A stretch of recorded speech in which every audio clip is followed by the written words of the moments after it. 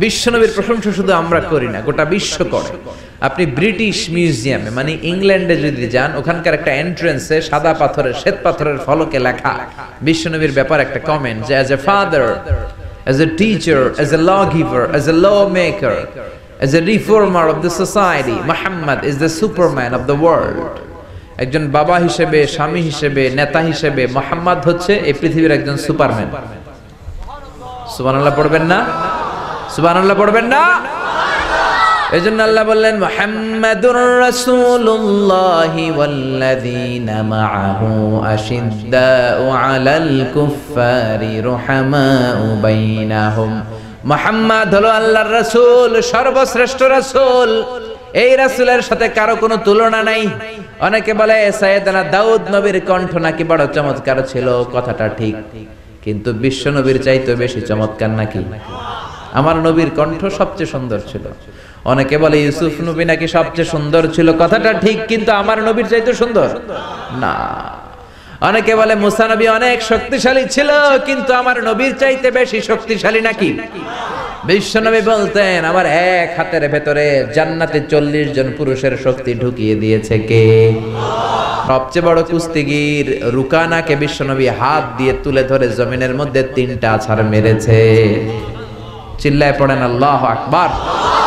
ওই নবীর প্রেম অন্তরে থাকার দরকার আছে না নাই? ওই নবীর জন্য রক্ত দেওয়ার দরকার আছে না নাই? নবীর জন্য দেহের সব বিলে দিতে রাজি আছে মুসলমান? ওই নবীর বিরুদ্ধে কথা বললে তাদের বিরুদ্ধে মাঠে নামতে রাজি আছে মুসলমান?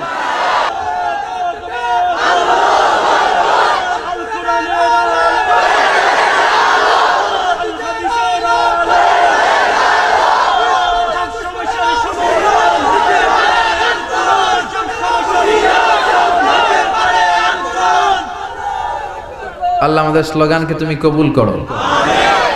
বিশ্বনবীর শাফাত নাসিব করো। বিশ্বনবীর ভালোবাসা অন্তরে রেখে জান্নাতে যাওয়ার তৌফিক দান করো। এজন্য বিশ্বনবী হচ্ছেন আল্লাহর রাসূল।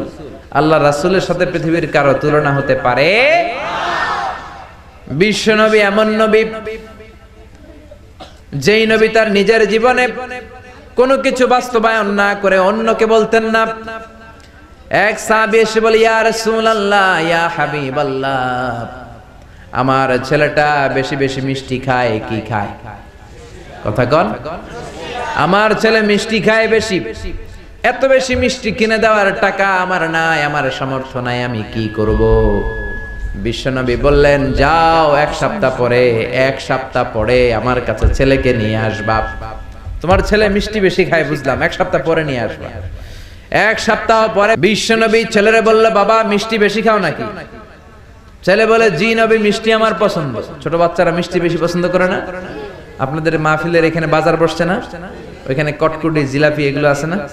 দেখবেন বাচ্চারা বাড়ি থেকে টাকা নিয়ে খালি ওই দিকে যাবে। মাহফিলে আসুক আর না আসুক। বিশ্বনবী বাচ্চাটারে বললেন ও ছেলে, মিষ্টি বেশি খাও নাকি? ছেলে বলে, নবী, আমি মিষ্টি বেশি খাই। বিশ্বনবী ছেলেটারে বললেন ও বাবা। তোমার বাবার এত টাকা নাই যে তোমারে প্রতিদিন এত মিষ্টি কিনে দিবে। আজকে থেকে মিষ্টি খাওয়া কমায় দাও। ছেলে বলল, ঠিক আছে নবী, কমায় দিব। ছেলের বাবা বলে, নবী, এই কথা তো গত সপ্তাহে বলতে পারতেন।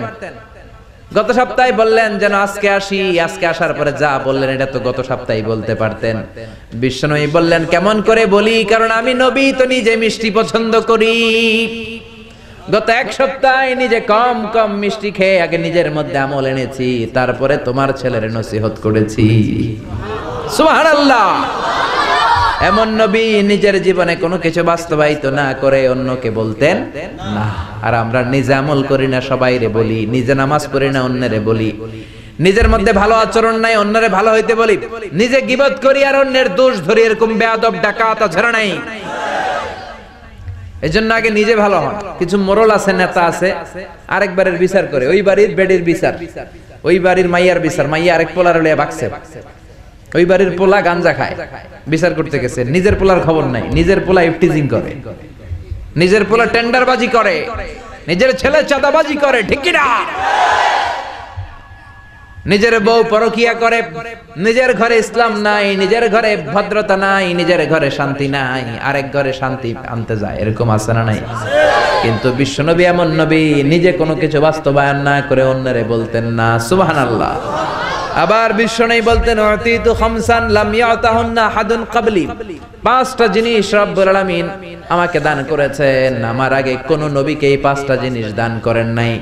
এক নম্বরে নুসিতুবির রাবি মাসিরাতা শাহর। আমার ডানে বায়ে, সামনে পেছনে এক মাসের দূরত্ব পর্যন্ত জায়গার ভেতরে কোন কাফের মুশরিক যদি থাকে, ওই কাফেরদের অন্তরের ভেতরে আমি নবীর ব্যাপারে ভয় ঢুকিয়ে দেয় কে?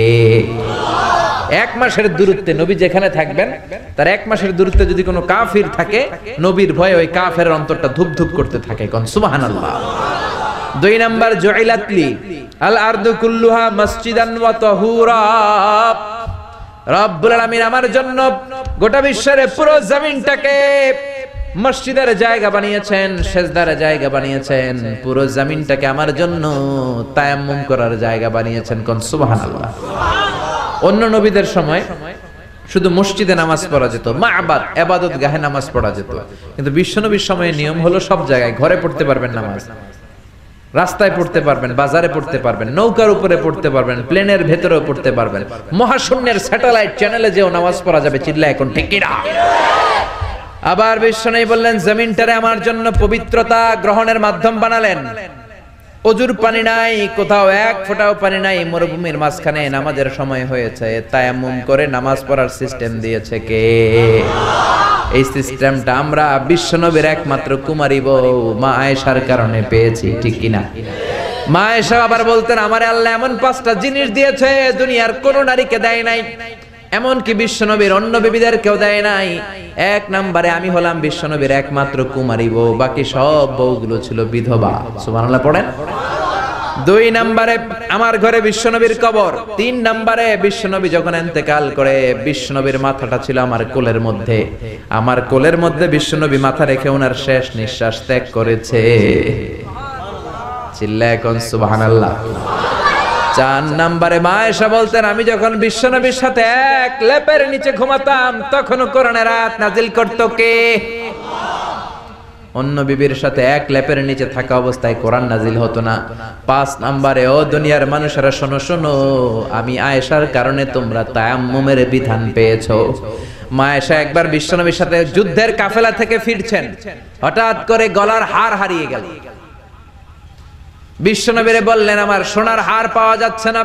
বিশ্বনবী বললেন, কাফেলা, থামাও, আমার বিবি আয়েশার হার খোঁজো। সব সাহাবারা হার খুঁজতে শুরু করল। হার খুঁজতে খুঁজতে মাগরিবের নামাজের সময় একেবারে যায় যায়। নামাজের সময় যেন যায় যায়। সবাই বলে, হায় হায়, আবু বকর, তোমার মেয়ের কারণে আজকে সবার নামাজ কাজা হবে। তোমার মেয়ের কারণে বিশ্বনবীর নামাজ কাজা হবে, সাহাবিদের নামাজ কাজা হবে। কি কাজ করল তোমার মেয়ে? আবু বকর যে নিজের মেয়ে আয়েশারে ধমকাতে লাগল, ও আয়েশা, কি করলি? আল্লাহ কোরআনের আয়াত নাজির করে বললেন, ও আবু বকর, আয়েশারে ধমক দিও না। এই পৃথিবীর মধ্যে যে কয়টা নারীকে আল্লাহ আমি পছন্দ করি, তার মধ্যে একজন হলো আয়েশা। আল্লাহ আকবার। فإن لم تجدوا ماء فتيمموا صعيدا طيبا যাও আয়েশার সম্মানে আজকে থেকে আমি আল্লাহ তায়াম্মুমের আয়াত নাজিল করে দিলাম যদি অজুর পানি না পাও বালুর মধ্যে এরকম মাসেহ করে দুই হাতে মা- মাখবেন আরেকটা বাড়ি দিয়ে চেহারার মধ্যে মাখবেন তায়াম্মুম হয়ে গেল নামাজ পড়লে কবুল করে নিবে কে এজন্য বিশ্ব নেই বলতেন গোটা বিশ্বটারে আমার জন্য মসজিদ বানিয়েছেন। গোটা বিশ্বটারে রব্বুল আলামিন আমার জন্য পবিত্রতা অর্জনের মাধ্যম বানিয়েছেন। তিন নম্বরে বিশ্ব নেই বললেন যুদ্ধের পরে যে গনিমতের মাল পাওয়া যায়, সব নবীদের জন্য এটা খাওয়া ছিল হারাম। আর আমাদের জন্য এটাকে হালাল করেছে কে? চার নম্বরে বিশ্বনবী বললেন ও অতীতু সাফা কেয়ামতের দিন কোন নবীও সাফাত করতে পারবে না একমাত্র আমি নবী মোহাম্মদ ছাড়া ঠিক কিনা সব শেষে বিশ্বনবী বললেন وكان النبي يبعث الى قومه خاصه দুনিয়ার সব নবীকে রব্বুল আলামিন নির্ধারিত জাতির কাছে, গোষ্ঠীর কাছে পাঠিয়েছেন। আর আমাকে রব্বুল আলামিন গোটা বিশ্বের জন্য বিশ্ব নবী করে পাঠিয়েছেন। জোরে বলেন সুবহানাল্লাহ। এরা হতে হেলে দুলে নুরানি তনু, ওকে আসে হায়। সারা দুনিয়ার হেরে মেরে পর্দা খুলে খুলে চাই যে আমার কমলিওয়ালা কমলিওয়ালা। তার ভাবে বিভোল রাঙ্গা পায়ের তলে, পর্বত জঙ্গল টল, মল টলে। খুরমা, খেজুর, বাদাম, জাফরানি ফুল ঝরে ঝরে যায় সে যে আমার কমলিওয়ালা কমলিওয়ালা পড়েন আল্লাহ আকবার